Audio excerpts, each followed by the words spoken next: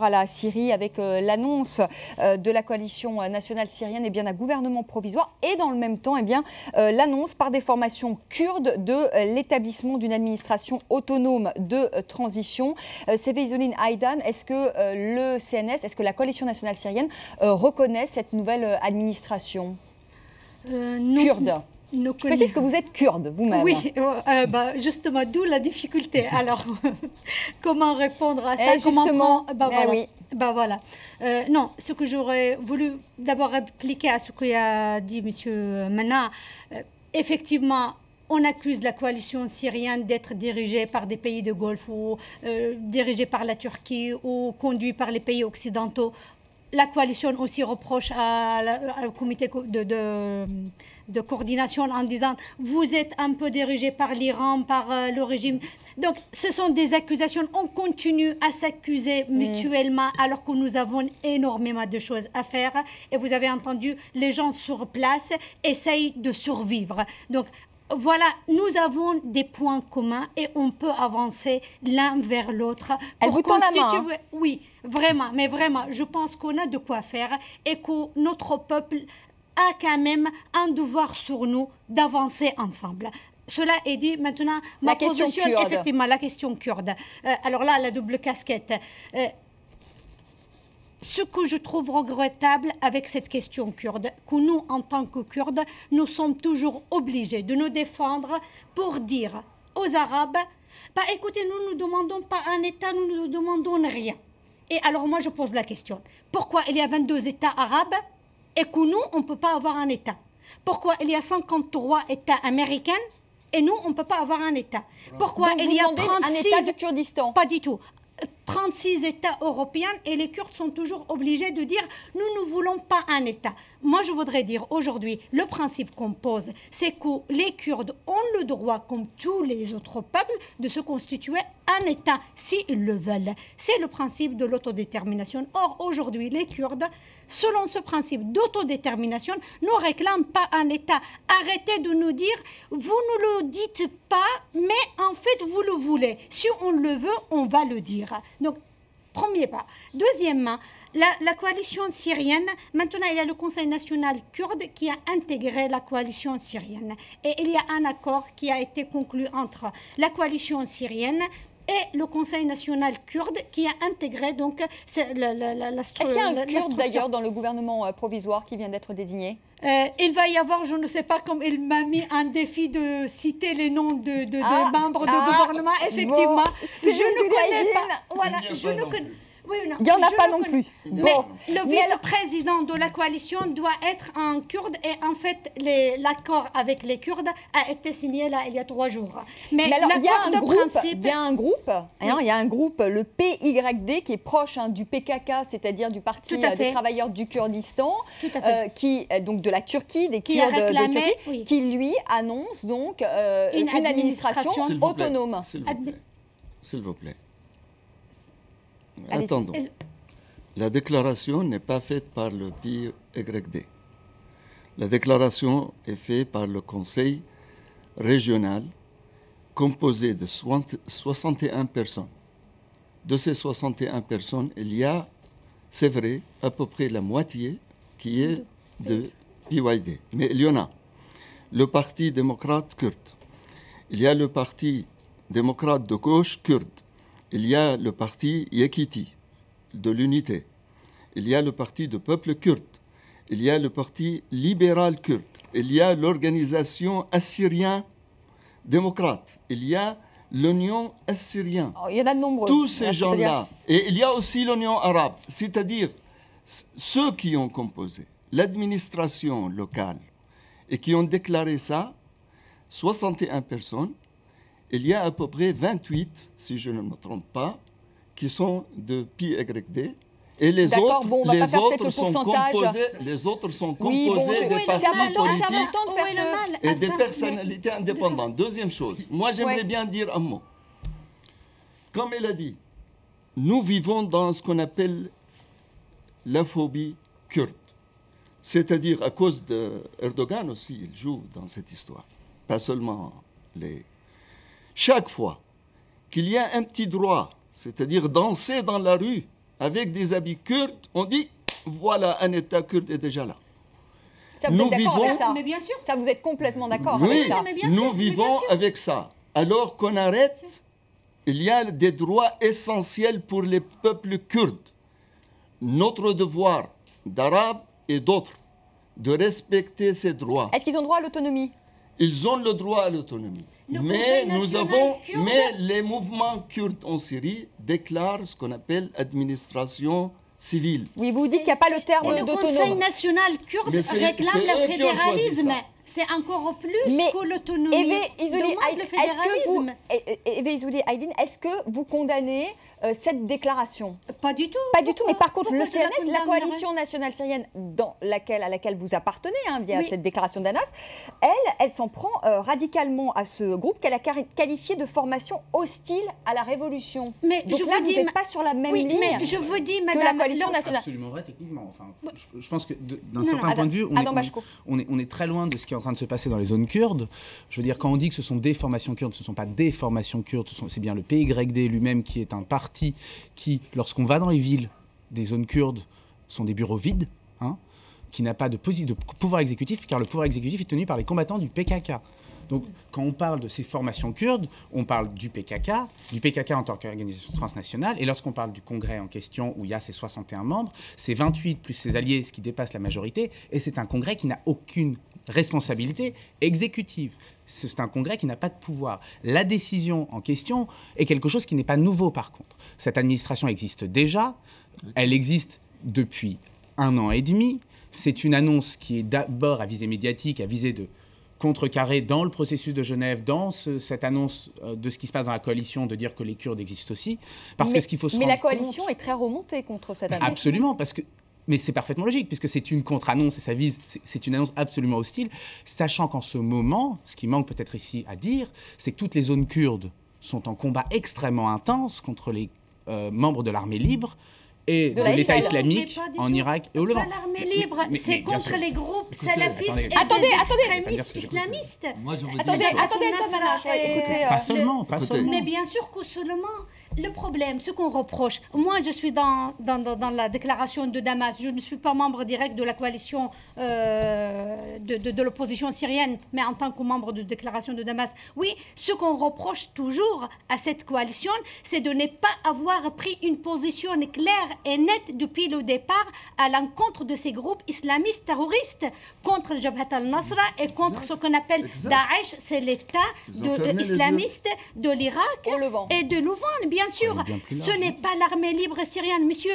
Ces groupes islamistes ont tué et ont emprisonné des commandants de l'armée libre syrienne. bien sûr. On a arrêté des opposants syriens, on a arrêté des, des- des journalistes.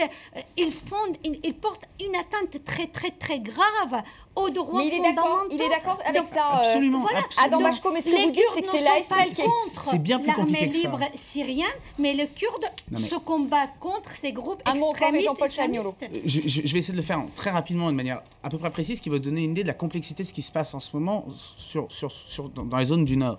Vous avez des Kurdes qui sont dans l'armée libre. Donc bien sûr que l'armée libre n'est pas anti-kurde. Vous avez 1000 à 2000 Kurdes qui se battent dans des brigades parfois kurdes, parfois mixtes. Ça, c'est une chose. Deuxième chose, vous avez euh, euh, des combats entre ces groupes djihadistes d'un côté, le, enfin, l'armée libre aussi est djihadiste, parce qu'il y a aussi un langage de djihad, mais vous, aurez, vous avez des combats entre l'État islamique affilié à Al-Qaïda et l'armée libre qui se reconnaît de la coalition. Et dans les zones où vous avez des combats contre les Kurdes, je veux dire notamment l'Est, et ainsi que les deux enclaves de Si on peut voir d'ailleurs la carte aussi. oui, si vous montrez la carte, vous verrez les trois zones. Là, ce qui est très impressionnant, c'est que cette même armée libre, qui est en tension très forte avec l'État islamique en Irak et au Levant affilié à Al-Qaïda, se bat aux côtés, à ces moments-là, de cet État islamique en Irak et au Levant contre, Contre les, les Kurdes. Kurdes. Et dans l'Est, près des grandes villes de l'Est, ces combats sont faits en parallèle. C'est toute la complexité de, situations où vous avez à la fois des accords locaux et des tensions de niveau national. C'est extrêmement compliqué. Alors justement, Jean-Paul Chagnolo, est-ce qu'il y a un risque. Est-ce qu'il y a un risque justement d'embrasement dans ces zones libérées euh, euh, du nord et de l'est Parce que Adam Bachkoula vient de l'expliquer euh, euh, à l'instant, il y a des euh, luttes entre euh, les djihadistes, Al-Nusra, euh, on a parlé de, de l'Irak, euh, euh, de ce groupe, euh, L'État le islamique. IIL, État islamique en Irak Irak et au euh, et au Levant. L'ASL, les groupes kurdes. Est-ce qu'il y a un risque d'embrasement dans ces zones le euh, fait libérées que vous posiez la question comme ça, c'est déjà une réponse. Il y a déjà l'embrasement, il existe malheureusement, et c'est toute la difficulté de cette affaire. Euh, cela dit- Finalement, il y a une guerre civile qui se joue au nord et à l'est, dans Bah, les zones libérées. Et, moi, ce que je trouve euh, important dans cette affaire, c'est que du coup, les, les- les Kurdes, alors dans cette complexité que vous avez très bien décrite, les Kurdes se remettent à exister. Moi, je crois qu'il faut quand même pas oublier, et peut-être que les téléspectateurs ne, ne savent pas, mais euh, s'il y avait un État kurde, je parle dans l'ensemble du Moyen-Orient, pas simplement par une sécession en Si Syrie. on peut voir d'ailleurs la serait- carte, 20 millions de ça Kurdes. serait, ça serait le- le- sans doute l'État, en dehors de la Turquie, le plus peuplé de, de la région. 35, 40 millions de, de- 40 de- millions. ouais, de, de Kurdes. Donc on, est, on a affaire là à, à une, euh, une dimension tout à fait considérable. Et au fond, j'imagine, alors là je pose la question à, à madame qui est kurde, mais j'imagine qu'on doit penser à ce qui se passe euh, tout à côté, parce que c'est à deux pas, c'est-à-dire dans le Kurdistan irakien. Et le Kurdistan irakien a profité d'une circonstance euh, historique qui était ce que vous évoquiez tout à l'heure avec la, avec la guerre du Golfe en 91, pour euh, acquérir une autonomie, euh, et une autonomie qu'ils ont... Premier Qui fonctionne bien d'ailleurs. Qui, qui, qui- qui et qui s'est constitutionnalisé. Pourquoi pas Attendez, ce qui c'est intéressant parce qu'il y a un mot qu'il faut lâcher quand même et qui va revenir forcément, c'est le mot fédéralisme. Fédéral. C'est-à-dire Ouais. Que la constitution irakienne est, est en principe, d'un point de vue purement juridique, est, est, euh, fédéraliste et la seule région qui est vraiment euh, constitutionnellement fédéralisée, c'est euh, la- la- la- la- le Kurdistan irakien. euh, irakien. Et, et il est évident que les, que les, que les Kurdes aujourd'hui doivent penser dans une Ils- Syrie ils à, à- à rêver, ils doivent penser à quelque Ah. chose qui est de l'ordre de l'autonomie fédérale. Enfin, après, il y a tout, tout le problème là-dessus.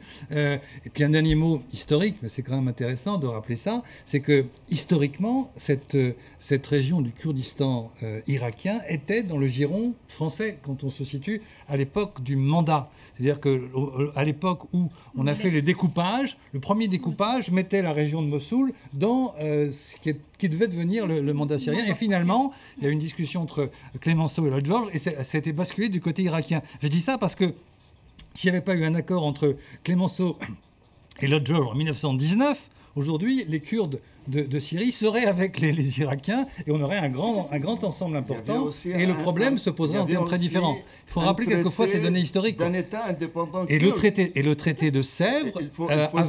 signaler ça. Mais c'est ce que- et le traité Oui. de Sèvres avait effectivement prévu un État kurde. Voilà. Et, et aujourd'hui, bon, au Maintenant, fond, on parle de l'histoire ça revient. comme un tabou. Et le fédéralisme, le fédéralisme, d'ailleurs, c'était un des thèmes qui a été discuté entre le Conseil national Voilà. kurde et la coalition syrienne comme thème pour l'intégration de la co- du Conseil national kurde au sein de la coalition syrienne. Après, on a mis Est-ce certaines que vous qu'ils sont bien représentés, les Kurdes, au sein de la coalition nationale syrienne On a fait beaucoup d'avancées. Euh, Ce moi, pas, je vous ça une correspond chose. pas exactement Je à vous ce qu'ils souhaitent les Kurdes dans Est-ce- leur euh, totalité. Ils sont Il moins représentés qu'un petit groupe euh, d'un intellectuel syrien. La moitié. Alors, ça, pour ça, je vous dis une chose. Je vous dis une chose. Je vous dis une chose vraiment. Je vous dis une On chose. commence à avoir l'habitude, là, Mais ça- Je vous dis une chose. Je vous dis une chose. Le fait que ça arrive à Istanbul, ils ne peuvent pas obtenir plus. Tandis qu'on a fait notre réunion à Halboun, à côté de Damas, notre slogan était écrit et notre titre de congrès était écrit en arabe et en kurde pour la première fois Qu'est-ce dans que vous l'histoire de la proposez Syrie. pour les Kurdes? Qu'est-ce que vous proposez On pour pro- les Kurdes de, nous, de sommes- Syrie? nous avons un programme Oui, nous qui avons dit quoi? un programme qui donne dans la Constitution des régions autonomes en Syrie, dans l'ensemble du territoire syrien, des droits. Un. Deux. Nous avons étudié l'ensemble des droits politiques, socio-économiques et culturels étouffés pendant la période de partie basse. On a fait un travail et ce travail, Oui, c'est c'est- notre devoir C'est de tous. droit de citoyenneté, C'est mais notre vous n'allez pas c'est au-delà notre- de ce que les Non, Kurdes non, non, réclament. écoutez, écoutez, Une sorte de écoutez, fédéralisme je ou ne- d'autonomie. Êtes- Ouais, je vous la- dis une le chose. fédéralisme, oui ou non Je vous dis une chose. Le fédéralisme. Je vous dis une chose. Le, Eh ben, fédérali- le fédéralisme adopté par la population kurde dans un référendum, on l'accepte. Juste, Jean-Paul Chagnolo, Juste un mot Juste un mot, Euh, deux choses peut-être. La première, c'est que on retrouve dans ce débat euh, des questions fondamentales qu'on a complètement oubliées pendant des décennies, qui sont effectivement les droits euh, des minorités. Parce qu'on en- peut aussi parler des chrétiens. Non, oui, alors Aussi, ça, hein, ça va se y a- poser y a en termes de- différents y a parce qu'il a pas- de- ne peut pas y avoir un État Mais là, il ne chrétien. peut pas y avoir un État Voilà, chrétien, oui, c'est- Mais c'est un vrai- une vraie Mais problématique en bien sûr, et donc du coup, la solution constitutionnelle, dès lors qu'on parle dans un système ouvert, pluraliste, démocratique, la seule solution euh, par rapport à ces questions, elle est soit une forte décentralisation avec des régions autonomes, soit, soit du fédéralisme. C'est ça l'option constitutionnelle. Il n'y Et en a pas deux- d'autre. Attendez, les deux mais- ce qui est, ce qui est intéressant, c'est que si on regarde euh, la question du fédéralisme, le fédéralisme euh, conduit toujours, euh, historiquement, à ce qu'à un moment donné, ceux qui sont dans ces situations-là, c'est lorsqu'il y a, il y a une identité forte, comme c'est le cas des Kurdes, bien entendu, il y a un moment où, lorsqu'ils le peuvent historiquement, quand le moment historique est venu, ils se détachent. C'est-à-dire que le, le fédéralisme est souvent dans ces, dans ces configurations-là, on n'a qu'à regarder en Europe de l'Est ce qui s'est passé, euh,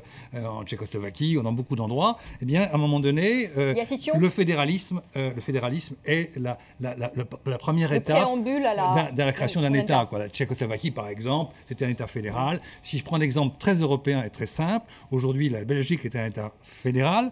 Je ne suis pas sûr que ce soit pas une étape vers un État wallon et un État flamand pour, pour, pour, rester- pour revenir en Europe. Donc, si vous voulez, le fédéralisme a cette, a chance, cette force et en même temps cette ambiguïté. Mais en tout cas, quelle que soit l'hypothèse, décentralisation très poussée, euh, autonomie, ou bien fédéralisme, dans les deux cas, cette question ne s'est jamais posée auparavant. Évidemment, il y avait un régime qui écrasait tout. Et je pense que c'est important que des débats comme ça De puissent naître. voilà. Et ils vont maintenant euh, perdurer jusqu'à ce que les transformations politiques en profondeur se je fassent. crois, Ah, pardon. oui. Ah, Moi, je crois qu'il y a éléments, deux éléments essentiels qui sont au service du peuple kurde dans la région.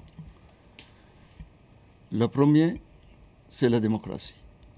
Deuxième, c'est vraiment revoir la région dans un cadre de coopération entre l'ensemble des peuples, turcs, kurdes, arabes et persans. Dans cet esprit-là, qu'on va vraiment donner aux Kurdes leurs droits, quelle que soit l'issue politique. Adam Bachko, moi ce qui m'intéresse aussi, euh, c'est que les Kurdes ont obtenu de grandes victoires quand même euh, militaires hein, dans, le, euh, dans le nord. Qui les finance D'où viennent les armes C'est quand même une question aussi qu'on qu'on se pose. Je, je vais répondre à votre question rapidement et je vais rajouter un deuxième point parce que ça me paraît quand même important dans, dans le débat qu'on qu'on a, là. Le PKK a pris le contrôle des zones, euh, euh, donc le- je répète, le PKK, le PYD, euh, qui est une organisation affiliée avec le PKK, a pris Le le PKK, on le rappelle, hein, ce Ah, sont donc les, Kurdes. guérilla kurde de. Turquie Voilà. qui bon, a une revendication sur l'ensemble du Kurdistan. hein. Chez, chez eux, on parle du Kurdistan de l'Est, du Nord, du Sud et de l'Ouest. hein. C'est une revendication transnationale. Ce mouvement-là qui a profité, enfin, qui a profité de la situation, qui avait comme tradition d'avoir un sanctuaire en Syrie, hein, c'était pas nouveau. hein. Avec Öcalan, absolument.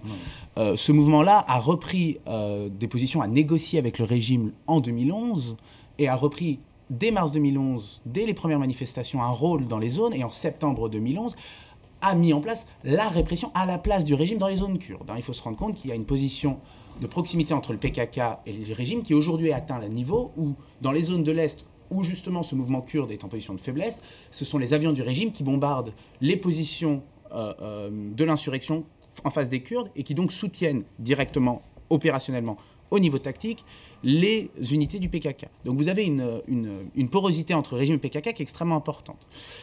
Ce qui, ce qui me semble important, et j'aimerais quand même Mais le les rajouter... Kurdes, mais les Kurdes, parce que là vous me parlez du PKK, des Kurdes Mais- de Turquie, Non, mais non, les Kurdes de Syrie qui remportent aussi. Avant, avant- avant de protester... Moi, avant je vous dis une chose. Non mais... Ah, moi, moment- Attendez, soyons précis, Mais parce que- Au même moment, il y avait 1500 Kurdes de PYD en prison en Syrie. Absolument, Voilà. c'est pas du tout Et incompatible. en plus, quand Comment vous parlez de ça, d'abord, le PYD, Attendez. ce n'est pas le PKK. attendez, on s'entend plus. Pas- Oui, s'il vous plaît. Et. Allez-y. allez-y. politiques n'avaient pas Aitamana. 20, 20 Aitamana. prisonniers S'il vous politiques. plaît, ça- C'est Veizuli Aydin. Oui, le PYD, ce n'est pas le PKK. Certes, ils ont sur le plan idéologique beaucoup de ressemblances. Et monsieur, je voudrais bien, quand vous parlez de ça, que vous dites aux gens qui nous regardent que ce mouvement de PYD ou des gens pro de PKK ont de coprésidence homme-femme. Qu'ils réclament la parité à 100%, donc 50% hommes, 50% femmes. Qu'aujourd'hui, cette armée Mais vous de soutenez le PYD Non, je, je soutiens Ah, les mais vous le- avancées. vous le défendez. Mais bien sûr. Le PYD comme il est. Oui, qui le finance. Moi, ce que je voudrais savoir, c'est qui finance Il remporte des victoires militaires incroyables dans le nord du pays. Qui finance Qui donne les armes Au. PYD. Kandil. Kandil, c'est qui? Kandil, c'est qui? C'est-à-dire la région du, nord de, Kurdistan, Il y a- là où il y Ah, a collègues Kurdistan. qui leur. Il y a énormément de C'est une solidarité entre Voilà, Kurdes normale. voilà. Si vous dites maintenant... Il vaut mieux de Kandil que de Bandar Ben Sultan. Mais bien sûr, l'aide de PKK pour les Kurdes, ça va de soi. Il y a le gouvernement régional du Kurdistan d'Irak qui aide également les Kurdes de Syrie. Donc, il ne faut Mm. pas penser que les Kurdes de Syrie, c'est uniquement 3 millions de Kurdes isolés. Les Kurdes ont un sentiment de solidarité entre eux normal. très, très, très forte. Et Et effectivement... on sent chez vous ce soir, en Eh tout cas. bien sûr, Euh, bien et sûr. Aydin, vous êtes peut-être dans la coalition nationale syrienne, mais vous défendez. euh, Mais je suis surtout Vous pour les droits Vous des défendez les- femmes, vous défendez les madame, Kurdes. Ce que je voudrais dire, Mais c'est une un- réussite de l'exemple. Les Kurdes restent les seuls composants dans la- le Moyen-Orient. Ah, non, non, mais les, les Kurdes Allez, restent les seuls on à défendre la laïcité et les droits des femmes. D'accord. Et je suis Exact. obligée de les défendre. Exact. Je ne peux pas acquiescer à un État qui, Hmm. comme en Raqqa, maintenant on impose en Syrie la voile intégrale et on assassine les gens, on impose Et on des coupe tribunaux les têtes des gens islamistes. Donc rue. les Kurdes font l'exception aujourd'hui en Syrie. En tout et cas, toute on a la trouvé- coalition doit les En suivre. tout cas, Itamana, il a défendu aussi euh, les Kurdes, donc on peut déjà vous êtes rejoindre, les vous tous défendu les Kurdes. Vous, êtes- vous pouvez vous rejoindre au moins sur un point. On n'aura pas parlé de savoir s'il y aura peut-être un jour une partition justement euh, de la Syrie avec peut-être euh, un État euh, kurde et peut-être le régime qui se replierait aussi sur l'attaquer. En tout cas, ce sera peut-être l'occasion d'un prochain débat. On n'a pas parlé non plus euh, de la conférence de Genève, mais il n'y avait peut-être pas grand-chose encore à en dire euh, ce soir et on espère qu'on aura l'occasion d'en par- parler lors d'un prochain débat. Merci à tous les quatre. Vous restez ici parce qu'on va continuer à parler euh, de cette question euh, kurde. J'ai un petit souci avec mon micro, ça arrive. ça arrive. Euh, Il y a eu un papier dans le Figaro qui était très intéressant, Karim, aujourd'hui, que je montre. Un mur de la honte entre la Turquie et la, et la Syrie. Alors on en parle euh, sur le Figaro.fr qui reprend cet article. Alors vous parliez de cette solidarité qui existe entre euh, tous les Kurdes. Eh bien, pour beaucoup de Kurdes des deux côtés de la frontière, turque et syrienne, eh bien, on essaye d'empêcher cette solidarité en quelque sorte. Euh, le reporter du Figaro est allé à la rencontre euh, des Kurdes, notamment du côté de Nusaybin. Ça, c'est côté turc. Et euh, de l'autre côté, il y a une ville presque jumelle euh, du Kurdistan syrien. Alors euh, la tonalité est identique, quels que soient les gens qui sont interviewés par le, journaliste du Figaro. On cherche à asphyxier euh, le Kurdistan syrien en empêchant euh, tout lien avec euh, les Kurdes côté turc. En tout cas, certaines manifestations ont eu lieu. On parle de la mobilisation des Kurdes contre le mur de la honte sur le site du Monde. On raconte notamment que le maire d'une des deux villes a même entamé une grève de la faim pour, pour lutter contre ce mur de la honte. Mais il y a un autre article euh, qui concerne plutôt la Syrie, qui est très partagé sur les réseaux sociaux. Euh, un article du Parisien qui raconte euh, en quelque sorte le quotidien d'un médecin qui était dans un hôpital euh, clandestin euh, non loin de Alep. Il raconte les très difficiles euh, conditions dans lesquelles il a travaillé, des équipes très réduites, euh, simplement un chirurgien, un, anesthésiste et un infirmier. Il raconte qu'en ce moment, du côté de la Syrie, on meurt de tout. Euh, une appendicite, un accouchement euh, peut, euh, peut être fatal. Et il raconte aussi euh, sa désillusion. Lui, il est rentré euh, il y a quelques semaines et il explique qu'en septembre, les médias ne parlaient que de la Syrie et puis aujourd'hui, plus personne C'est ce n'en que parle. disait Jean-Paul Chagnolo. En tout cas, son, son, son constat est, est triste. Il évoque aussi les armes euh, chimiques. Il dit euh, évidemment que c'est important les armes chimiques, mais c'est un écran de fumée du régime. Euh, il faut avant tout permettre aux humanitaires d'accéder à la Syrie. Alors, beaucoup de courage chez ce, ce médecin, mais aussi un petit peu de Il désillusion. s'appelle comment ce Il médecin? s'appelle son nom. Jean-Pierre Lotocarte. Euh, il est euh, donc, euh, il témoigne donc sur le site du Parisien un article Il est assez français partagé. Il est français. Il travaille pour Médecins sans frontières. Bon, ben, on espère qu'on l'aura peut-être un jour sur, le, Pourquoi sur le pas. plateau pour qu'il nous, pour qu'il nous raconte. Le voici, on, découvre son visage. Voilà. Et puis en France, évidemment, l'autre actualité aujourd'hui, c'est la une de, de Minutes hein, qui continue de faire couler beaucoup d'encre. Une, une, une, d'ailleurs que nous ne montrerons pas. Alors on la montrera pas, mais en tout cas on en parle encore beaucoup. Euh, le monde s'arrête sur l'effet euh, buzz pour minute parce que c'est aussi euh, une aubaine énorme mm. coup de publicité pour minute, sachant, en sachant que c'est très difficile de bloquer la diffusion de, de ce journal.